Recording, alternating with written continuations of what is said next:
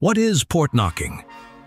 Port knocking is a security method that hides your server's open ports from attackers. Think of it like a secret knock on a door. Your server appears completely locked from the outside, but when you knock on specific ports in the exact right sequence, the door opens just for you. Here's how it actually works.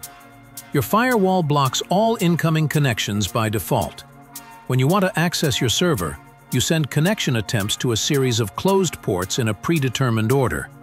Let's say ports 1000, 2000, then 3000. Your server monitors these attempts.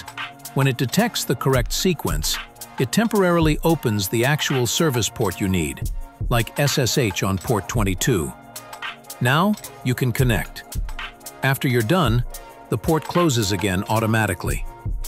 The beauty is that port scanners see nothing. No open ports, no vulnerabilities to exploit.